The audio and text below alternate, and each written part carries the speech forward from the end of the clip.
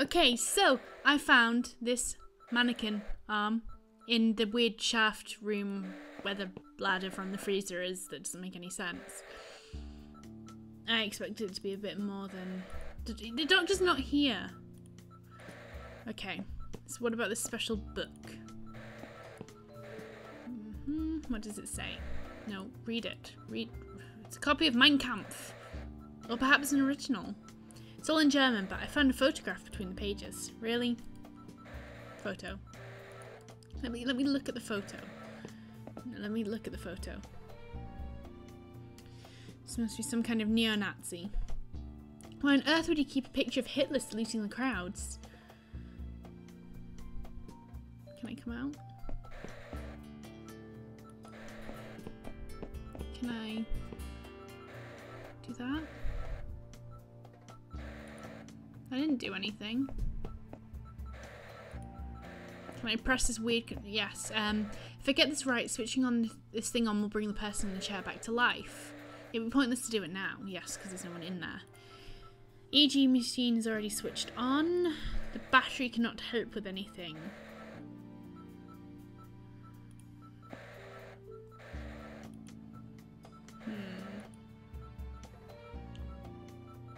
His right arm in the picture or was it left? No, it was his right arm. Her, her, her. Chair. I'd rather not sit in it. No, I do not blame you. Lever. Ooh, ooh, what was that? There was something moving in there. Is that Hitler? I don't know how to open this thing. Besides, I really don't want to. There was not a blood trail from the other side.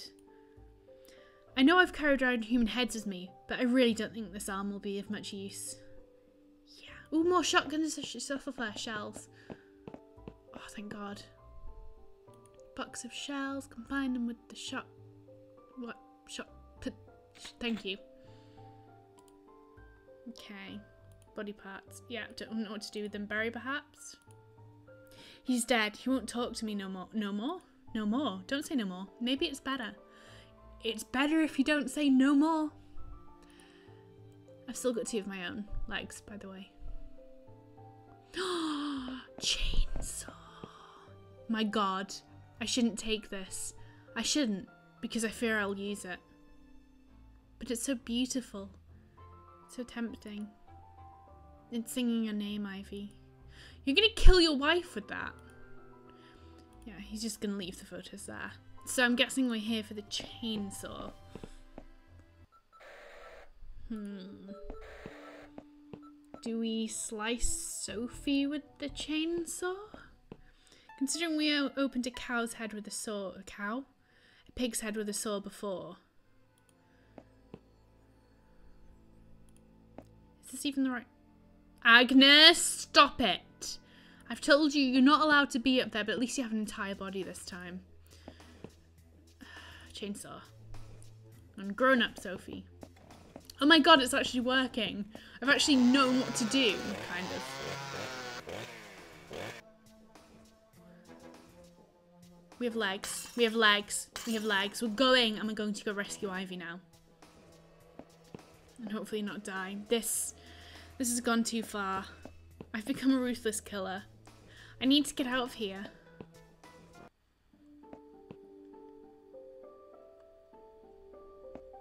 And hope that it's not too late.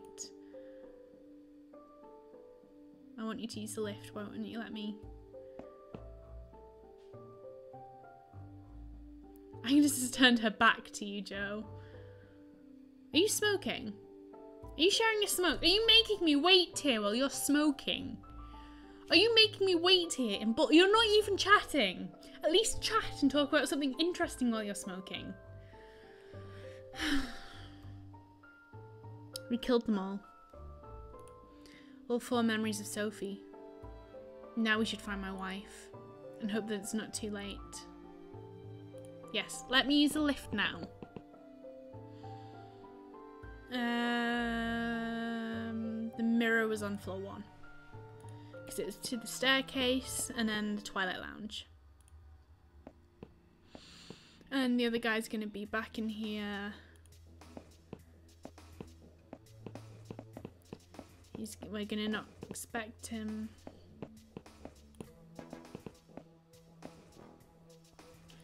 I'm surprised I haven't run into him. Why is it frozen? Are you are you going in there? I have to. This is the end of the road. Oh. Okay, but Joe, I think I'll stay here. This is all a bit too much for me. You've done well so far. Why quit now? You're going to save your wife now. You're the hero here, not me. It's just some person having a strange dream. And I can't stop thinking that it's your strange dream and I'm just passing through, you know? Well, it's been nice dreaming with you, Agnes. Hope we meet each other again sometime when we're awake. Who knows, maybe we will. But I must wake up now. There's something something I must do. Yes, I understand. Goodbye and thanks for opening that gate for me. You just couldn't work out that one by yourself, could you? You're welcome, Joe. It's time for both of us. Goodbye, Joe. Okay. Ugh.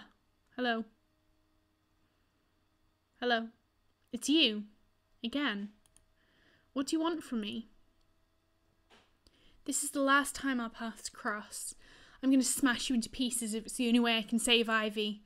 Say goodbye to your sick little world, Sophie. This is our final battle. And this time you die for- I should have saved. Die for good. Let me, let me, let me, let me have my inventory. Let me have my inventory. Let me have my inventory.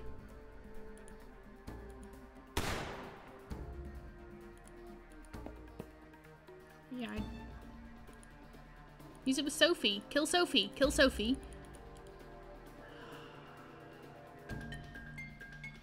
Okay, you know what? Walk over here. Walk over here. Can I have my inventory? Can I have? Thank you. What happened to my shotgun? I'm gonna kill us this time for- With what? We have a box of shells, but I seem to have discarded our... Stupid... What's this? This is our life. I've done nothing. It's a copy of Mein... I don't care about Mein Kampf. What did I do with our shotgun? Can I slap you with a fish? Wait. Why is there... Can I have my shotgun back? Shotgun. Thank you. Um, load. Thank you. Why is why are you throwing it on the floor?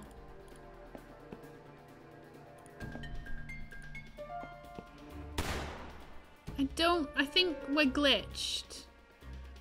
Why... Why... Shotgun can shoot two tails at a time, making it extremely powerful weapon. Unfortunately, the barrel is empty. Oh. Can I have my shotgun back? And then can I go back over here? Uh, and can I use the reloaded shotgun? And then I'll go back over here. I'll use the box of shells reload the shotgun. Thank you. What, what, what, what, what? I don't understand. There is no life. There is no life that is leaving. No, you can't use the box of shot. No, reload. And I'm back here. See you guys again soon. We're re-entering the mirror. And I'm bored with all your I'm going to kill you now speech. Yeah, shut up. Shut up. Just get with the killing. Right. Baby-like creature is specifically warned about. No, let me... What? I feel like this is what her mental health issue is, and it's like a baby that you grow. Stop it and let me have my inventory. Can I have my gun? Stupid bitch, just die. You should get. No, shoot it.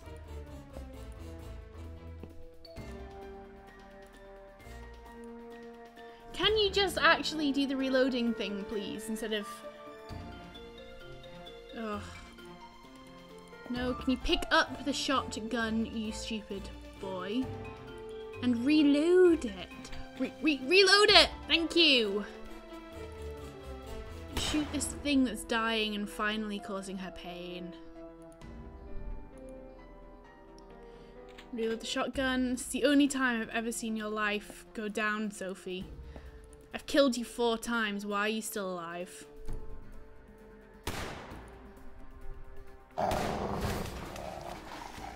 Ew. That's a bit gross.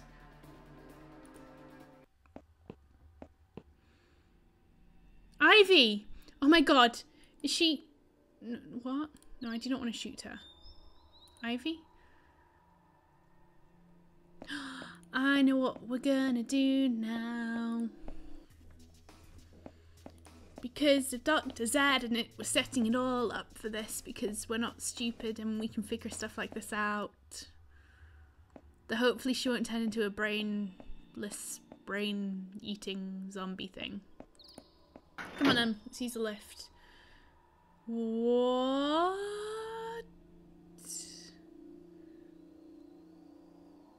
I think we're gonna resurrect Ivy and if nothing happens. We have to go to floor five.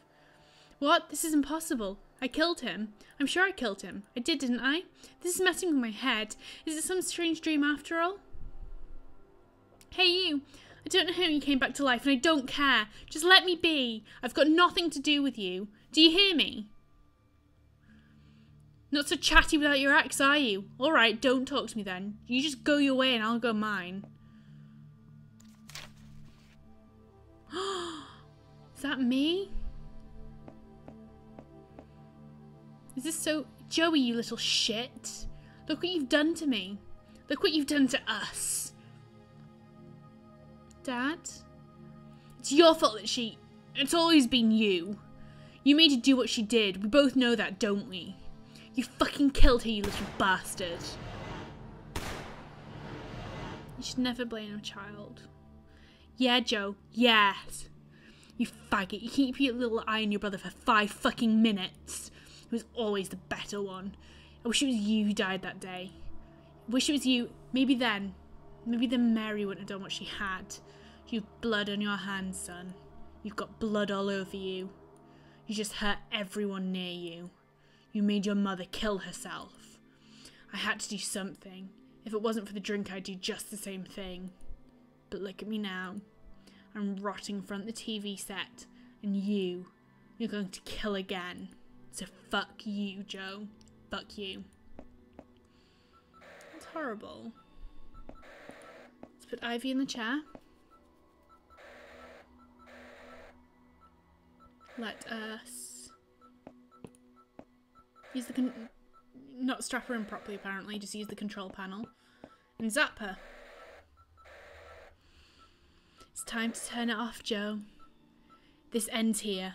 I only wish you I got here before you'd, well, done what you'd done. Back off. I don't know who you are and what you want, but I know I must finish what I've started. I have to bring her back to life. Don't you understand? This is the only way. The only way. You've got no idea what I've gone through today, and I won't hesitate to shoot you. Joe, I need to, you to put the gun down. We're both going to get out of this room alive. I'm not your enemy. I just want to help you. I'm not interested. Get lost. Can't you see?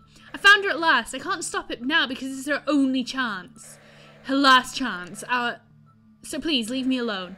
I don't want to kill you. Go away. Just fuck off. I'm afraid I can't do that, Joe. I understand that you're very confused about what's happened here. But I can explain. Just give me two minutes and listen to what I say. Are you fucking deaf? I'm gonna blow your brains out if you don't leave me alone. Please, Joe. I'm a friend. Just listen to me. Story time. Wait, what? Everyone's ready. We've just been waiting for you, Billy. The team's in position. I understand you're taking a- oh, okay, it's a police thing. I understand you're taking over. This is your case, Darren. I'm only here because Dr. Zineman was my friend. Yeah, sure. I'm sorry. Still, I thought you might want to get this guy yourself. We don't even know if it's him. Well, we've got the CCTV footage of him leaving Dr. Zineman's clinic as a witness who saw him near the crime scene. And a witness. That should be enough to put him behind bars for a long time. Don't you think? It's all circumstantial evidence, so no, I don't think. I don't know. I've got a funny feeling about this. Something's not right. Okay. What do we know so far about the killer? The man we're after is Joe Davis.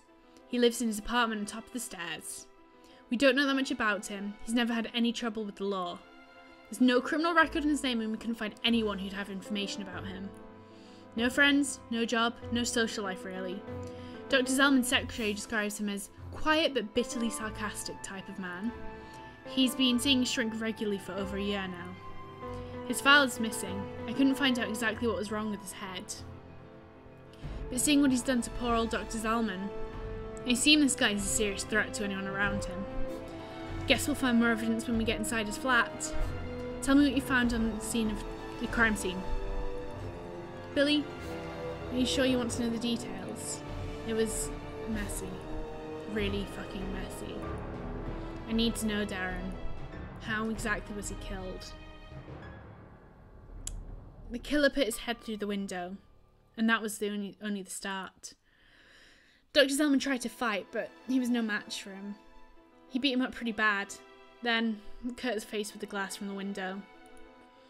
Bloody hell, Billy. He spent a good hour cutting his defenseless body into pieces.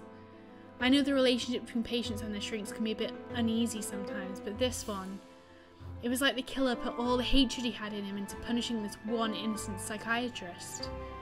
Our forensic team found a small saw on the crime scene. Our killer used it to cut through Dr. Zellman's skull and remove the brain. That was the pig! We did not do it to him! Which is missing? Yes. The killer must have taken it with him for some reason. Hmm. Why would anyone need a human brain? Who knows? Some kind of weird trophy? This guy must have completely lost the plot. Well, psychiatrists try to fix people's heads. Maybe by removing his brain, He's taken something his victim and he's most proud of. Something that's making his victim better than him. And a psychiatrist's brain would be an exceptionally good one. Yeah. Dr. Frank Zalman had a fine brain. Perhaps it made our killer angry in the first place. Are you saying that he was jealous? Not exactly. He just felt like taking the brain would be a final humiliation to someone who frequently tried to fix his broken, sick mind. Someone who made him feel like a worse person. Billy, aren't psychiatrists supposed to make their patients feel better about themselves? Yeah, they are. But the only way to achieve this for the very reason their patients feel bad in the first is to find the very reason their patients feel bad. But I can't read. It's red writing. That includes uncovering very personal facts about the person's life, shameful secrets, things they often don't want to acknowledge themselves. And to share this with someone can be painful so painful that sometimes they would deny the truth just because they're unable to face it. And then they get angry. The best solution is to get rid of someone who constantly points out there's a problem. It makes the problem disappear because their minds have already accepted the world as they see it. Madness becomes reality. They get used to it. They learn to live with it. They, to maintain this maintain to maintain this false image that they won't even hesitate to kill. As long as no one finds out, they're happy to live a lie. That's right. You got it, Darren. You don't really believe he's going to be in, do you? Well, yes and no. We've already established this guy's got mental problems. While most suspects would be crossing the channel right now to hide somewhere in France, we've got a feeling that our killer is not that predictable. Nevertheless, when we get inside his flat, we should be able to gather enough evidence to track him down.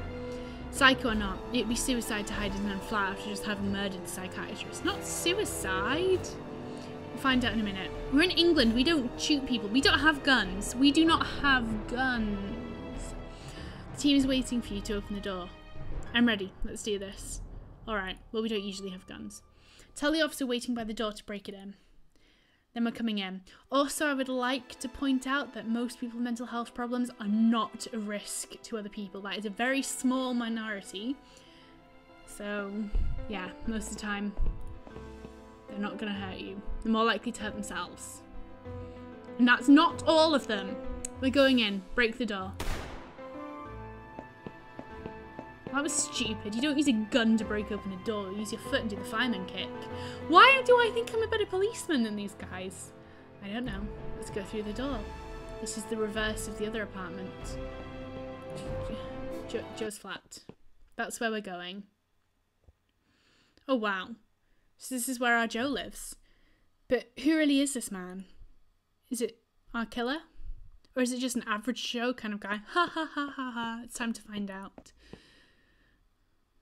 Oh, my back hurts from sitting for too long. Billy, this place seems empty. There's writing there. There's writing there. Look what he did to his crib. It's completely wasted. Don't assume it was him just yet. It's too early for that. Okay, fair enough. But the odds are good. My nose tells me that we'll find some clues here that'll lead to him sooner than I hoped, and my nose is never wrong. Have a look around, Billy. We need at least three pieces of evidence to make sure it's him. You don't mind helping me out, do you? No, for the sake of poor old Frank, this is my responsibility to find his killer after all. Were you already in here? Mr. Guy in Yellow, because you weren't outside on the landing. See what you can find and come talk to me when you've got something. What are you going to do? I'll watch and learn. You've always been my mentor, Billy, but this time, like you said, this is your personal business. I don't want to get in the way. Right, well, let's move this curtain. Because there's blood over here. Bloody hell, Billy. What the fuck is that? It's a cat. No, not the cat. A black cat. Let's have a look at the writing. It's written in blood. I want to read the writing, so stand over here. And he punished those who stood in his way. The road to hell leads through blood and pain. Let's look at this axe then. No, the axe the axe. Thank you. Billy, I thought you'd know better than to touch anything. There could be murder weapon with fingerprints on it. Relax, Darren. I know what I'm doing. Can I take the cat? Yeah, I should leave it there for now. There might be some fingerprints on it. There's fingerprints on the cat, but not the axe. Nothing here. It's in the paint painting, the phone. Because it won't let me click on the painting. The light is blinking. There's a message stored in the answering machine. Hi, Joe. It's Dr. Frank Zellman. You haven't showed up for your sessions for the last few weeks. I'm concerned. Is everything all right with you? I've tried calling you before, but you never pick up the phone. I know these things, they're hard to get over, and you've struggled. A lot. I don't think you can cope with that on your own. Well, I'm always here if you need me. Don't forget that. Come and see me this Friday. I'll be waiting. Click everything.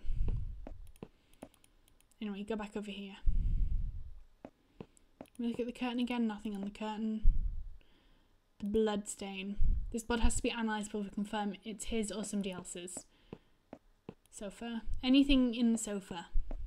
Nothing here? Mirror. Can't see any clues here. He broke the mirror. Fair enough, but that doesn't mean he's a killer. Mattress. Nothing here. Photo.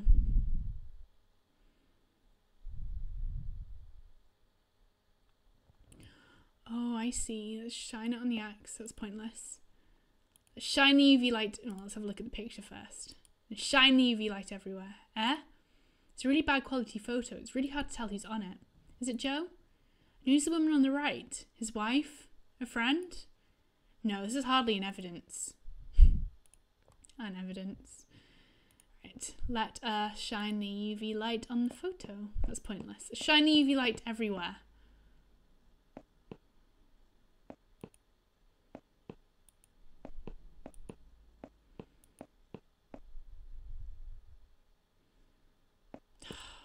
Can Cannot use the UV light with the cat. No. Oh, can we use it with the wall? Deep down under my floor, I've hidden my fears. I've buried my love. Hmm, this doesn't really feel like a continuation of the text on the other wall. No, but it sure makes more sense than the other one. Axe. That's point. I wasn't trying to combine them. I'm trying to use the axe on the floor. Did he said he buried her? Ugh, I hate you. Let's go back over here then. I think I found kind of three pieces of kind of maybe evidence. Can I use the axe on the mirror? No. Can I use the axe on the mattress? No. What about the sofa? No. What about the TV? It's just saying I can't use the axe with the, and that leaves it there. Can I use it on Terran Terranfly? I better keep this axe, I might need it later. No. Can I use it on the wall? Okay, can I use the UV light on the floor? Can I use it on the phone? I hate you. Oh, is that you? You're so silly.